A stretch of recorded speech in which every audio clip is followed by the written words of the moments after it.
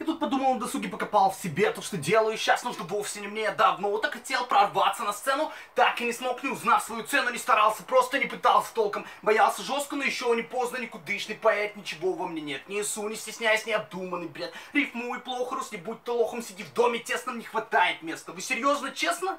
Я здесь группы честным всех МС мне взвести, я устрою вестерн на известном месте, вертел всех вас. Все ваши песни тут рэпа жести, он не так прелестен, нет нотации, лекции, тут не летний лагерь Бухенвальда с Венцем.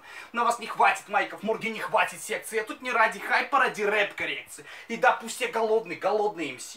Лучше, чем вы как картины дали. Собираю свой стиль на светой стене, испылив королей в 17.03. Гонюсь за мечтой, как капризный ребенок, быть только собой, нечем-то клоном. Рэп тут не цирк, и рэпер не клоун. Порву своим словом, хоть не образован. Не титулован, батлах я не старик. Ну где ваш фаворит, я готов на пари. Он вряд ли достойный, так не повторим. За сто косарей я забатлю с любым. И аудитории я буду любим.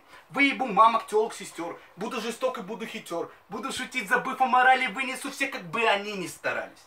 Ведь я слишком хорош, чтобы остаться в любителях. Я это знаю по ту сторону зрителей. Сезон будет жарким, чтобы все это видели в Краснодаре, Москве или Питере.